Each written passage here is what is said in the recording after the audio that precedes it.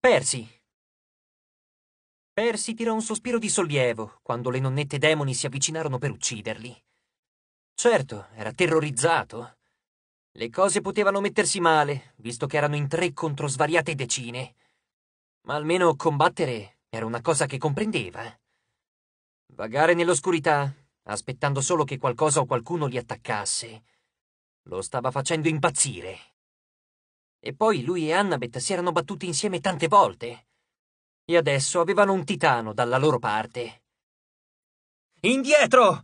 Persi puntò vortice contro la megera incartapecorita più vicina, ma quella rispose solo con un verso di scherno. Siamo le Arai, disse la strana voce fuori campo, come se l'intera foresta parlasse all'unisono. Non puoi distruggerci. Annabeth si accostò alla spalla di Percy. Non toccarle, lo avvisò. Sono gli spiriti delle maledizioni.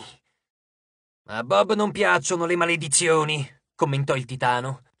Bobbino pensò bene di infilarsi dentro la tuta di Bob e scomparve. Mica scemo il gattino scheletro.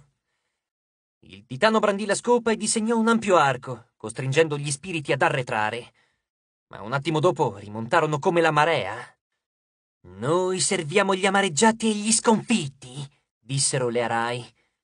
Serviamo gli uccisi che hanno implorato vendetta con il loro ultimo respiro. Abbiamo molte maledizioni da condividere con voi. Percy sentì l'acqua di fuoco nello stomaco salirgli in gola.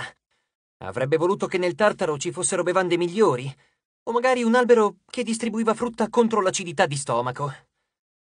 Grazie per l'offerta, disse, ma la mamma mi ha detto di non accettare maledizioni dagli sconosciuti.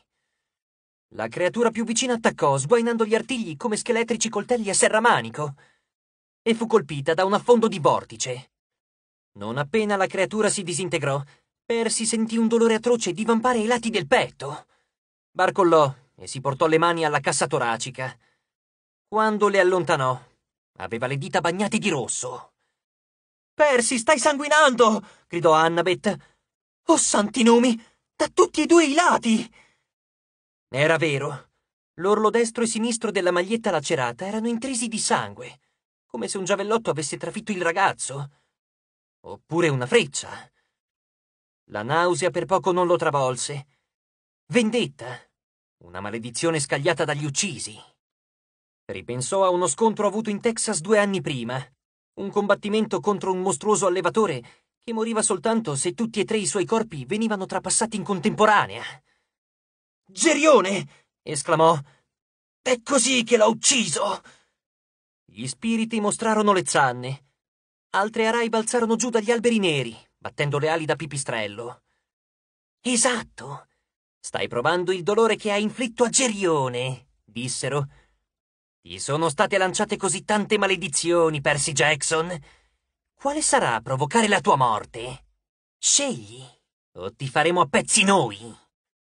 In qualche modo Percy riuscì a rimanere in piedi. Smise di sanguinare, pur sempre con la sensazione di avere un palo di metallo rovente conficcato nelle costole. Il braccio con cui impugnava la spada era debole e pesante. Non capisco, mormorò. La voce di Bob sembrò riecheggiare dal fondo di una lunga galleria. Per ognuna che uccidi riceverai una maledizione. Ma se non le uccidiamo, fece Annabeth, ci uccideranno loro, concluse Percy.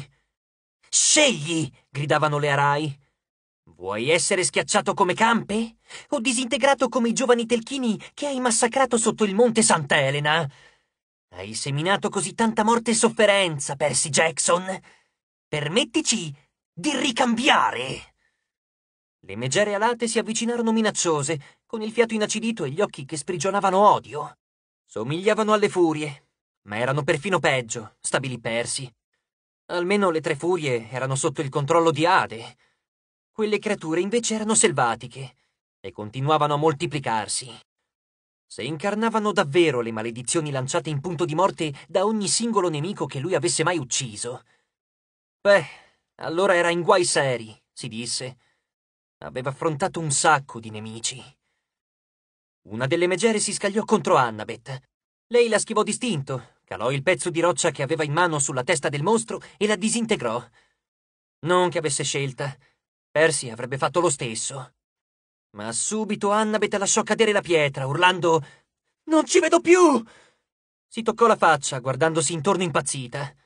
Aveva le pupille sbiancate. Percy si precipitò da lei, mentre le arai ridacchiavano stridule.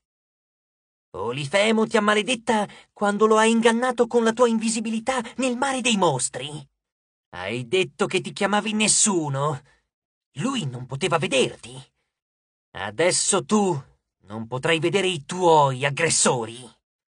Ci sono io, la rassicurò Percy. Le mise un braccio intorno alla vita, ma mentre le arai avanzavano, si domandò come avrebbe potuto proteggere entrambi. Una decina di mostri balzarono da ogni direzione, ma Bob gridò Strike! La scopa fischiò sopra la testa di Percy. Le arai caddero come birilli in una pista da bowling. La prima linea era stata spazzata via. Altre megere avanzarono a frotte. Bob ne colpì una sulla testa e ne infilzò un'altra, polverizzandole. Le loro compagne arretrarono. Percy trattenne il fiato in attesa che l'amico titano venisse colto da una terribile maledizione. Ma Bob sembrava stare bene. Era la guardia del corpo ideale. Un colosso d'argento che teneva a bada la morte, con l'arnese domestico più spaventoso del mondo. Bob, tutto a posto? domandò Percy. Niente maledizioni. Niente maledizioni per Bob, confermò il titano. Le arai ringhiarono e volteggiarono, tenendo d'occhio la scopa. Il titano è già maledetto. Perché dovremmo torturarlo ancora? Tu, Percy Jackson, gli hai già distrutto la memoria. La punta della lancia di Bob si abbassò. Bob, non starle ad ascoltare, disse Annabeth. Sono cattive. Il tempo rallentò.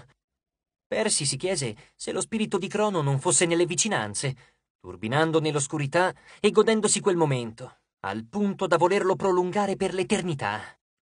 Si sentì come si era sentito a dodici anni, mentre combatteva contro Ares sulla spiaggia di Los Angeles, quando aveva avvertito per la prima volta l'ombra del Signore dei Titani.